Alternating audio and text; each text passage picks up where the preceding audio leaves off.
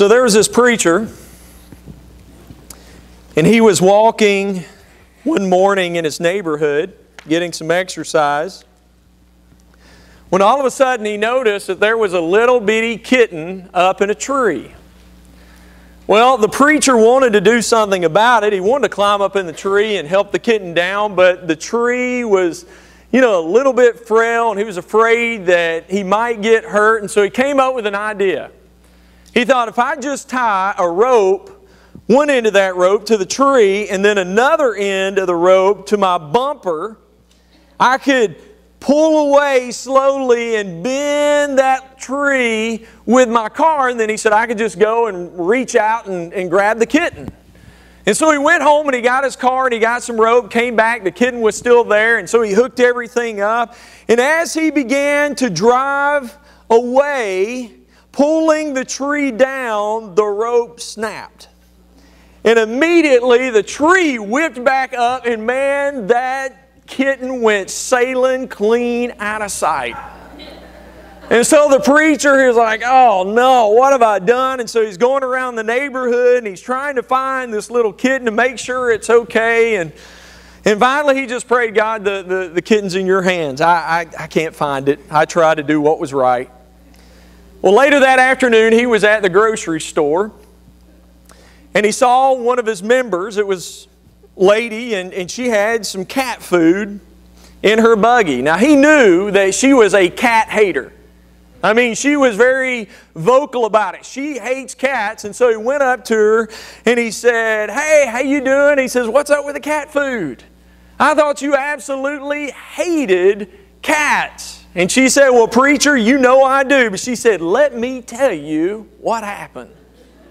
She said, For the last couple of weeks, she said, Man, my daughter has been begging me for a kitten. And I looked at her and I said, Honey, unless God gives you a cat Himself, there is no way I am getting you a kitten. And she said, Preacher, you're not going to believe me? She said, but every day my daughter would go out and get on her knees and pray to God for a cat. And she said, today I was looking out the window. She was out there on her knees praying, and out of the sky, a kitten fell right into her lap. And so she said, Who am I to argue with God? She can have that cat. All right, for the last couple of weeks, we've been talking about prayer. And one of the things that we've been talking about is there are different ways that we can pray. It's okay to bow your head and close your eyes, but you don't have to pray that way all the time, especially since Paul says that we are to pray continually. Since Paul says in 1 Thessalonians chapter 5 verse 17 that we are to pray without what church? Without ceasing. And so we need to pray at times with our eyes open to the needs of those around us. Well, today we're going to continue talking about prayer, and we're going to look at another way to pray, and we're going to do that by going back to the book of Acts and looking at yet a couple of more significant moments there. Now, some of you may be saying, well, well, Slate, why are you doing this study from the book of Acts? What's so significant about the book of Acts? Well, the book of Acts is a history book. It tells us when the church was established and, and it tells us, you know, some of the things that they did. And, and so we can look back at the first century church and, and this is certainly something that's great for us to look back at because these people, they had a heart for God. And oftentimes they would pray on their knees. Look at Acts 9. We're going to start in verse 36. I'm not going to put it up on the screen, it's kind of a lengthy reading. But it says, In Joppa there was a disciple named Tabitha, which when translated is Dorcas who was always doing good and helping the poor. About that time, she became sick and died, and her body was washed and placed in an upstairs room.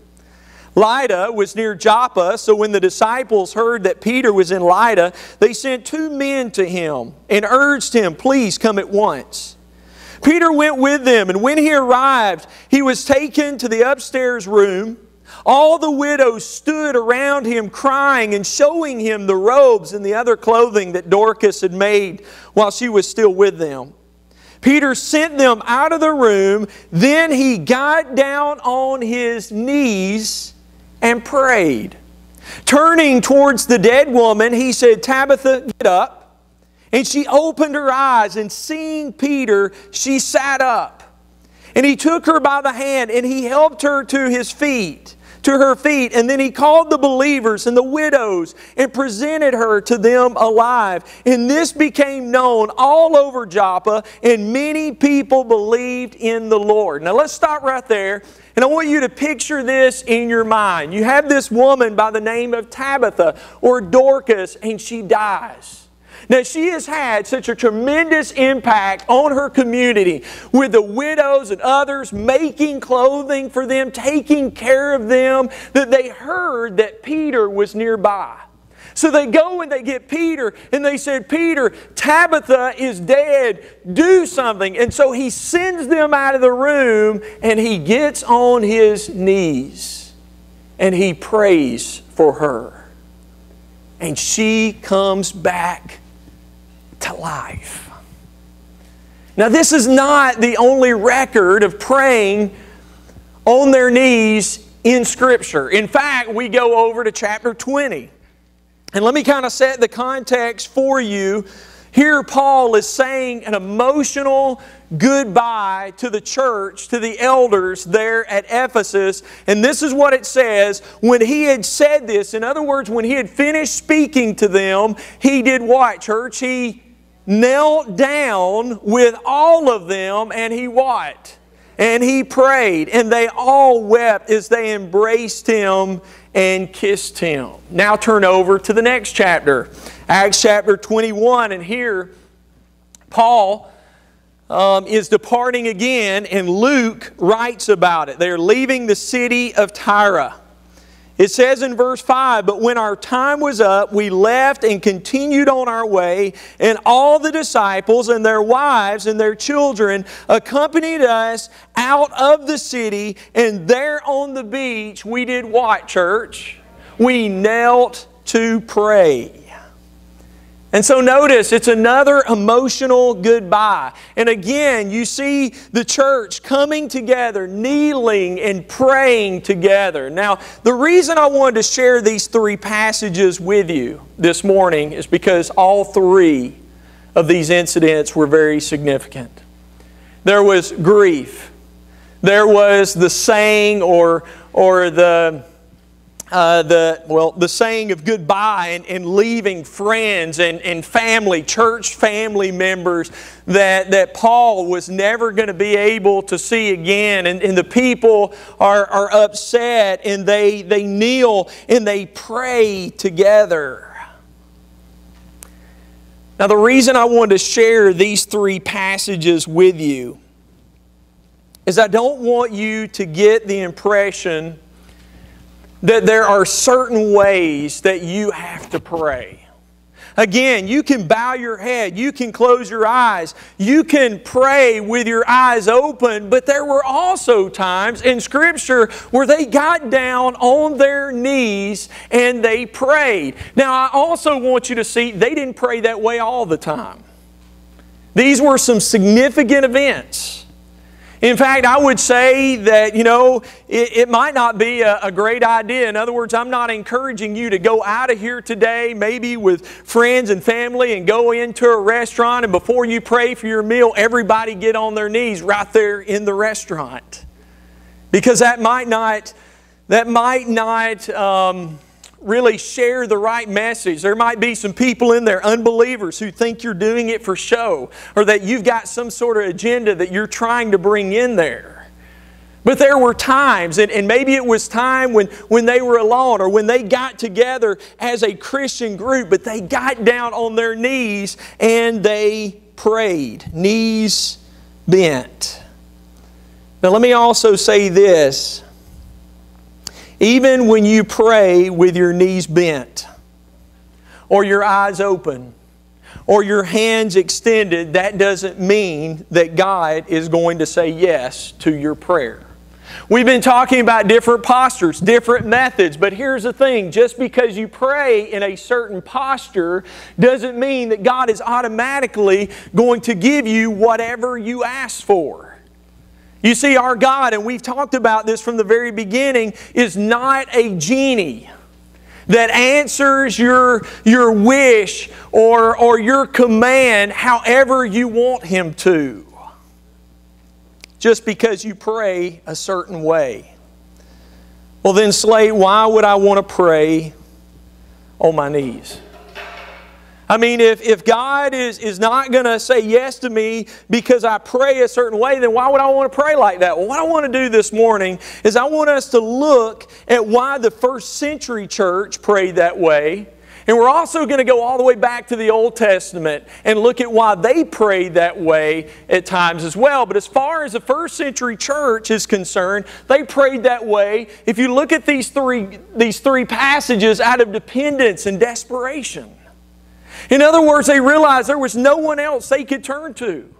There was no one else who could solve their circumstances. There was no one else who could solve their problems. And so, in desperation, in dependence upon God, man, they are crying out to God God, we need you to get in this. God, we need you to help us with this.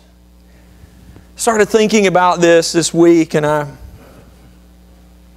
thought about how different times of my life where I'd lost this. I mean, if I'm honest, there have been times in my life when I haven't fully been dependent upon God. There have been times in my life where I haven't desperately be, been seeking out God. And probably, if, if every one of us were honest this morning, we've all found ourselves here, right? And the reason why is because we have nice homes to live in, right? And, and we've got all kinds of clothing, nice clothing to wear. And, and our, our cabinets, I mean, you open them up and they're full of food, and our bank accounts, they're padded. And I would say that probably for the most of us, we're in really good health. And so it's very tempting to think, you know, I'm making it fine on my own. I mean, I've got a job and I, hey, I'm, I'm working hard. I, I can take care of myself. And so at times I think it's very tempting to lose that dependence upon God, to lose that desperateness for God. It's like one person said the problem is the situation is desperate, but we're not. Don't ever buy into that lie. Prayer is our lifeline as Christ followers. As we said last week, what oxygen is to the body, prayer is to the Christian because it connects us to God. Heard a story one time. I, I, don't know how many of you, there may be some of you who grew up during the Depression, and so you, you realize how tough those times were, or maybe your parents grew up or your grandparents grew up during the Depression. Really rough. A lot of people struggling. Well, during that time, there was a guy by the name of Yates who lived in Texas, owned a ranch, raised sheep, and, and just like everyone else, man, he was really struggling. He was doing everything he could to keep from losing his ranch. Well, one day, there was an oil company that came to him and said, Hey, we'd like to dig on your property. Well, man, he had done everything he could to keep from going into foreclosure and losing everything. And so finally, he just threw up his hand and said, What have I got to lose? And so they came out and they began to dig. And at a shallow level, they hit oil. And at that point in time, it was the largest oil, deposit in North America.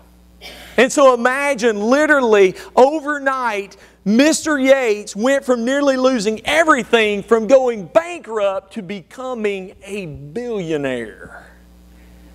Now, here's the thing that oil had been sitting there the whole time. I mean, here he is. He's getting ready to lose everything, but, but underneath him, right there in front of him, was, was all this oil that would have made him tremendously rich, but he had never tapped into it until this point. And in a similar sense, as God's people, do we ever fail to tap into the vast reservoir that we have at our disposal? Because we have an opportunity to call out to God, the creator of the universe, the one who said, Nothing is impossible for me. We have that opportunity. And what we need to realize as Christians, life is too big. And we are too small to start anywhere except down, our, down on our knees at His feet. Let me tell you something else about praying on your knees. It's very humbling. I, I want to encourage you to, to try it sometime. Get out on your knees and pray. And some of you say, well, well why? Why, why, why, why bother to pray on my knees? What, what's so big about praying on your knees? Well, you're defenseless. When we're on our knees, we're vulnerable. We're in a position where we can't do anything offensively. I mean, how many of you have ever seen an army general say, okay, guys, here's what I want you to do. I want every single one of you to get down on your knees because we're moving into battle? No. Why? Because when we're on our knees, we're defenseless. We are not in charge. When we are on our knees, we are lowering ourselves. We're humbling ourselves. And James says in James chapter 4, verses 6 through 7, God opposes the proud, but He gives what church? Grace to the humble. And so He says, What? Humble yourselves before God. Humble yourselves, and I will lift you up, God says. And we need to humble ourselves. We need to lower ourselves and realize, as the early church did, that you know what? We are helpless without God. We are desperate without God. And we've got to get to the point to where we depend upon Him instead of depending upon ourselves and our resources and our strength because He's the one who gave it to us anyway.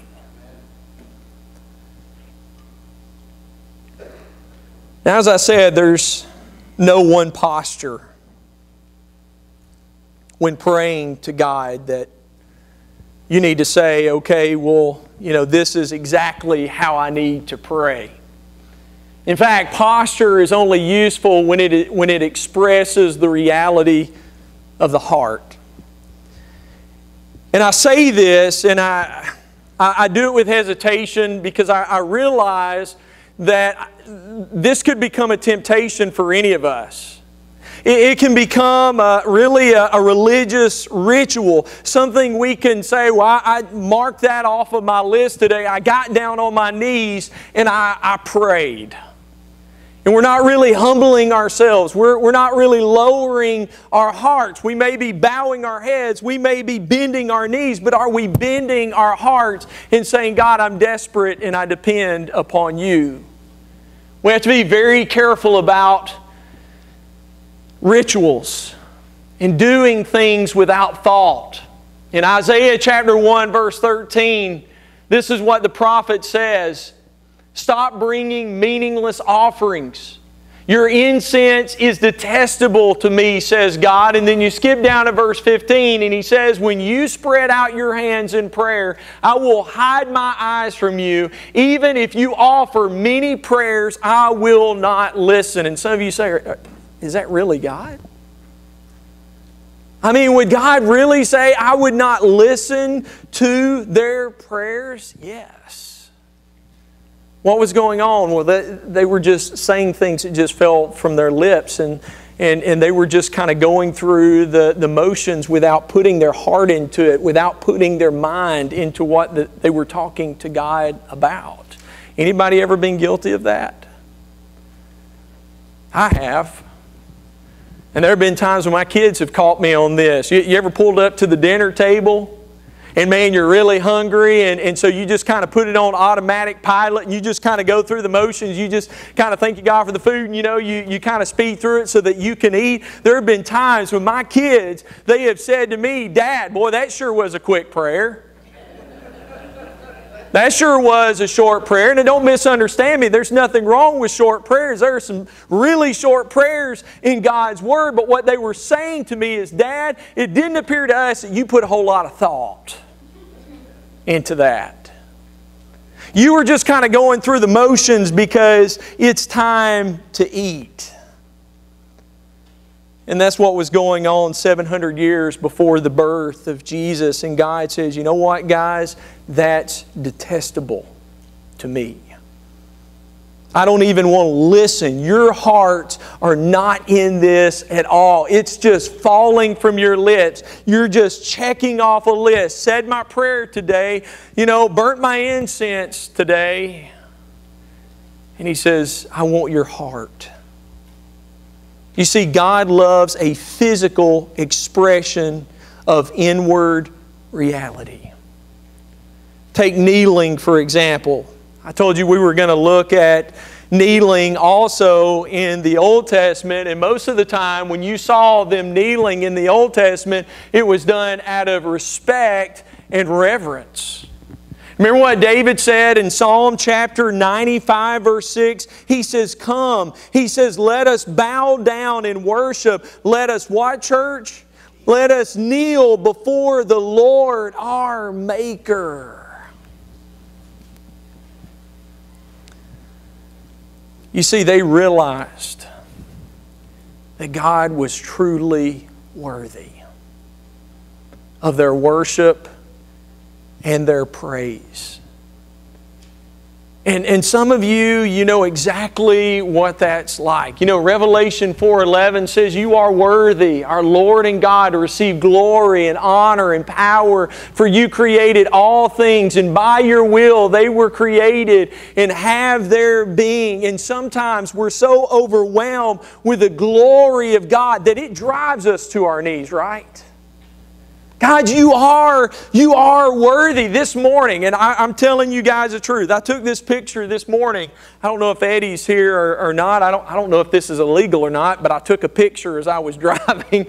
Probably wasn't the safest thing, but on the way home or on the way to church this morning at 6:30, you can see I'm turning to go down uh, First Street, and I'm telling you, it was beautiful guys. I don't know how many of you saw this. The clouds, man, they were just huge. They stretched all the way across the sky, and they were they were this pinkish red. And then over here, and, and this doesn't know justice. You, you see this, this huge dot over, over here?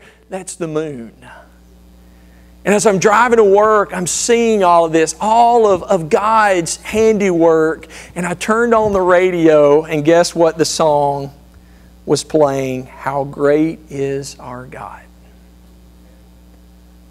I thought, wow.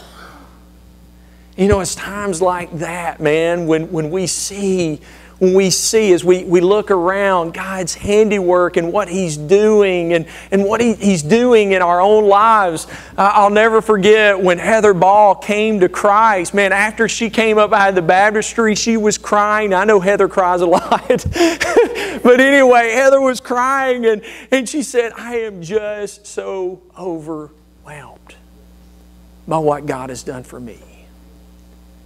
And so there are times, man, when, when just we're overwhelmed with God's glory and it drives us to our knees and we say, Thank you, God. We are truly dependent upon you. We are desperate for you. There's a great passage that deals with worship in 1 Chronicles chapter 1 verses 10 through 13. Here David, he doesn't ask for anything. He just spends time thanking God for His love and His goodness.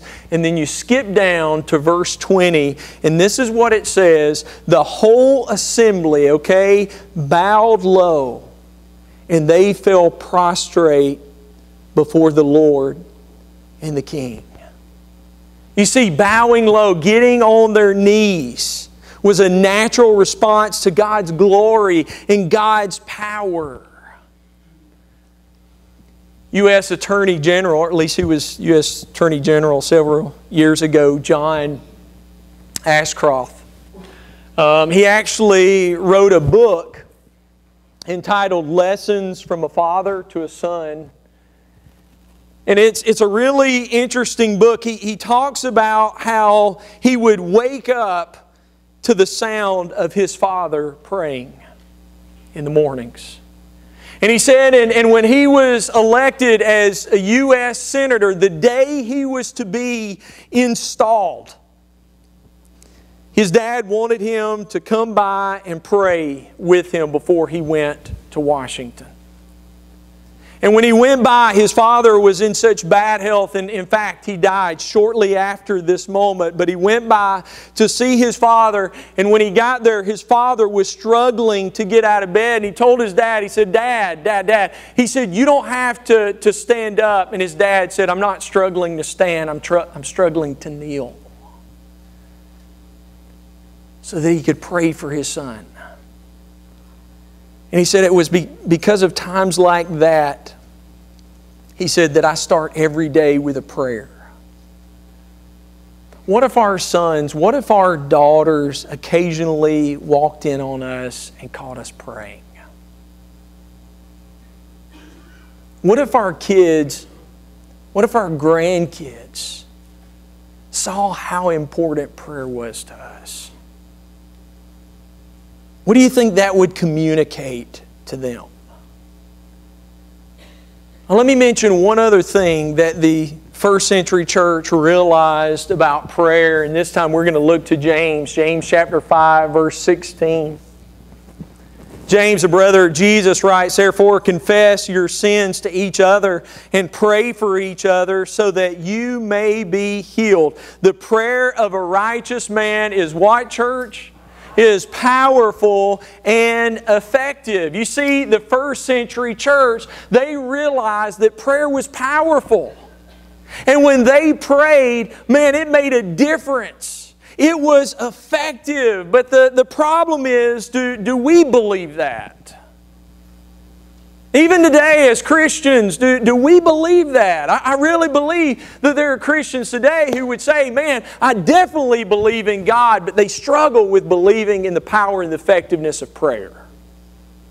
You guys probably heard the story about um, the, the bar that came to this small town, and because of the bar, um, all kinds of, of stuff was going on within the, the town, and, and it wasn't good stuff. And so there was a preacher, and, and, and the congregation that he worked with, they started praying that the bar would, would be removed. In fact, they started having prayer services and they were fasting that God would remove this bar. And one night, the bar was struck with lightning and it burned to the ground. And man, the bar owner was furious. And he knew about all the prayer meetings. And so, guess what he did? He took that preacher in, in the church to court. And so as they were standing there in court, you've got the, the bar, the, the, the, owner of the bar who is, you know, arguing that, that the church prayed and God burned down his building. And then you've got the preacher and the congregation that, and they're denying it. They're saying, we prayed, but we never imagined anything like this happening. And the, the judge just stepped back and he said, wow. He said, I've never experienced anything like this. You have a bar owner who believes in the power of prayer, and you have a preacher in a church that doesn't.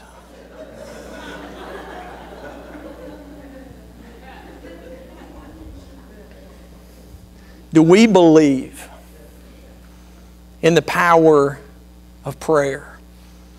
Study after study, done by even secular organizations, show the power of prayer.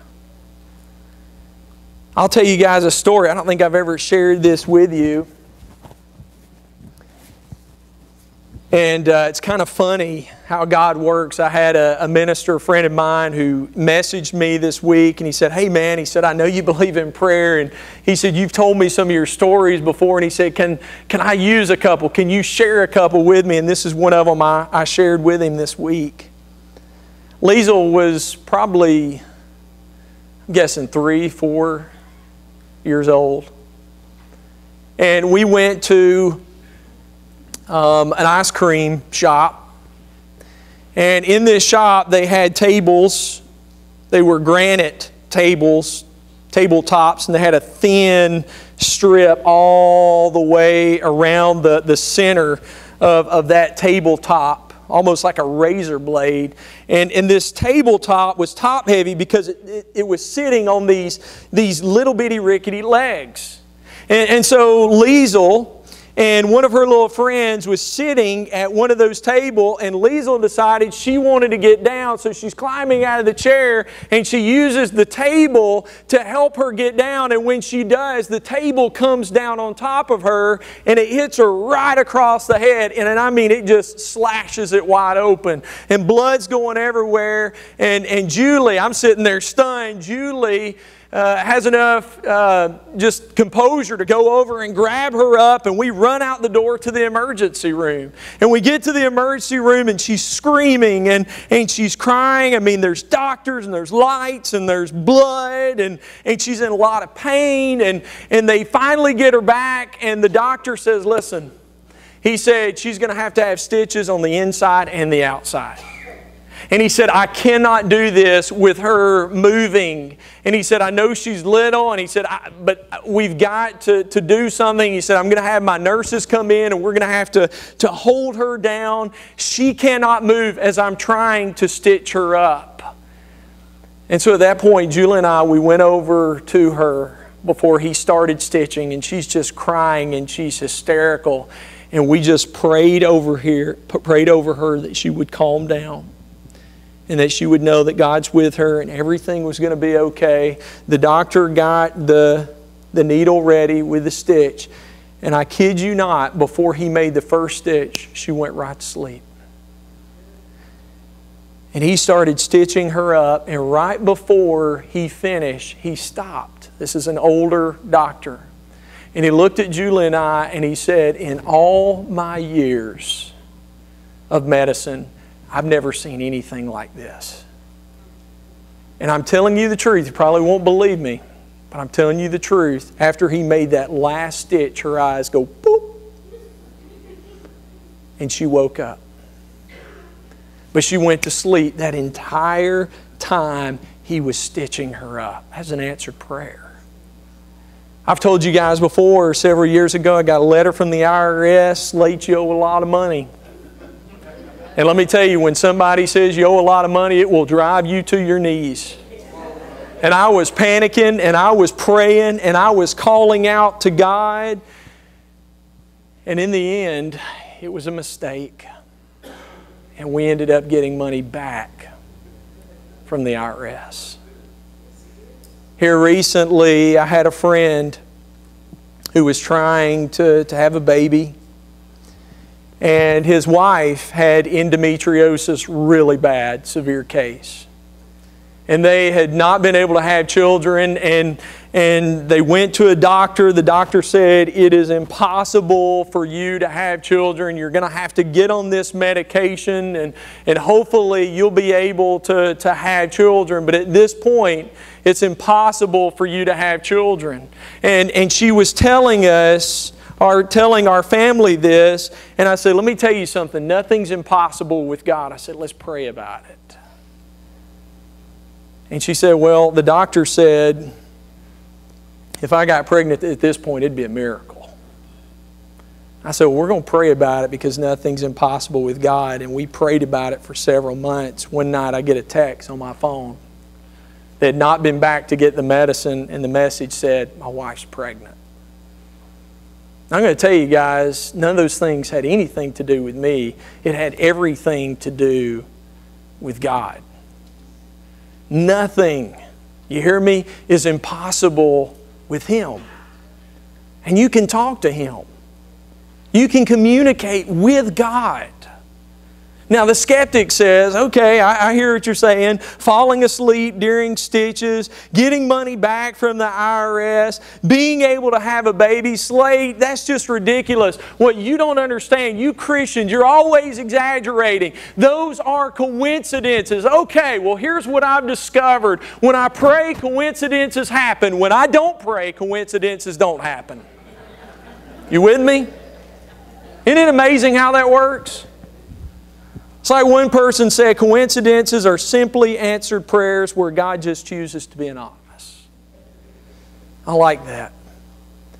When we pray confidently, believing that the God in the universe is personally involved in our lives, let me tell you something, guys, we will be amazed. Martin Luther once said, None can believe how powerful prayer is but those who have learned it by experience. And I'm telling you, I've had some amazing experiences in talking to God. But I want to encourage you to go deeper. That's what this whole series has been about. We're concluding it today, and, and, and what I hope you'll see is you know what? You need to be praying more than just at services like, like today. You need to be praying more than just in the morning or, or maybe before a meal, throughout the day. You need to be continually talking to God going to God on behalf of, of, of those around you. Continually, constantly praying. I want to close out the, our series with this, and I've said it throughout the entire series, and I'm saying it because I've had so many people who have told me they're intimidated by prayer and they've said to me, Slate, I don't, I don't know how to pray. And again, what I want you to understand is prayer is just a conversation with God. Just as you would have a conversation with your spouse or a conversation with a coworker or, or a conversation with, with a, a, friend. You're, you're just you're having a conversation. You're, you're talking to God. You're, you're pouring out your, your heart to Him. And when you pray, pray believing and knowing that God is listening. And He is involved and He is working in your situation. He may not answer it the way you think He should, but God will answer your prayer. And I can guarantee you, at the end of the day, he will answer it in a way that is best. And so lift up prayers to God, talk to God. This, this morning, we want to extend an invitation. Before we do that, I, I would like to close out this series with a prayer like we did this morning. I want to give you the opportunity to take just a, a few moments to pray yourself.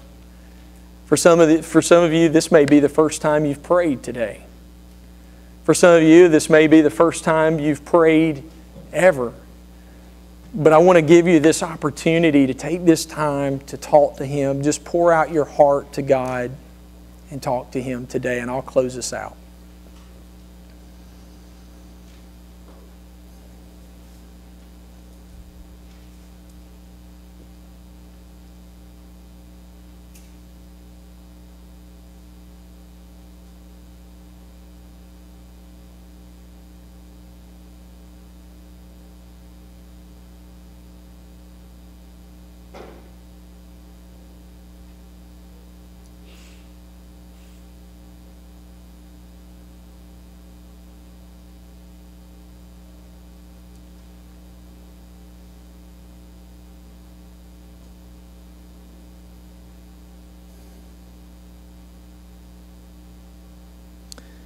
God, we thank you so much for being the God that you are.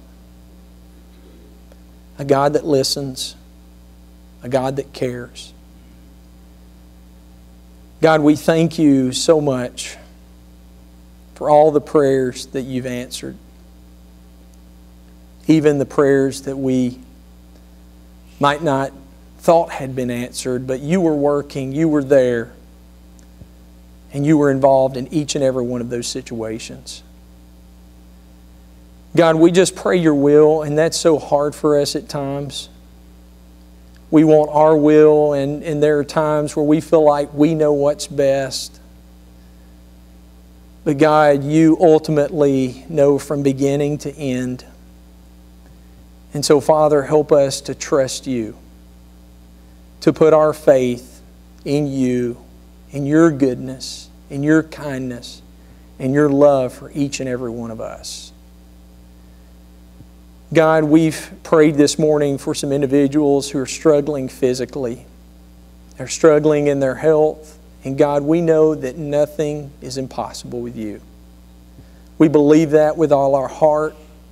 And Father, we lift up each and every one of these individuals to you, and we're praying for healing for them, Father. But again, we're also praying your will. But Father, I thank you so much for each and every one who's here today. For some, it was, it was a struggle to be here today. For some, I, I realize they're hurting. They're struggling in their marriage. Maybe they're struggling with an addiction. They're struggling with a wayward child. They're struggling with an abusive parent. But they're struggling. And Father, I just pray that you will work in each individual's life that are here today and even in the lives of those who aren't present, God. I just pray your blessings over them and pray that you will continue to let your glory and your honor shine out through this world, through us. And Father, we just pray all these things in the power of Jesus' name. Amen.